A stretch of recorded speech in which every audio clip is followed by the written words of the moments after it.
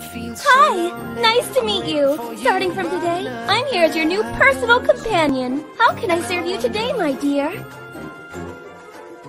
I wonder how, I wonder why Yesterday you told me about the blue, blue sky And all that I can see Is just another lemon tree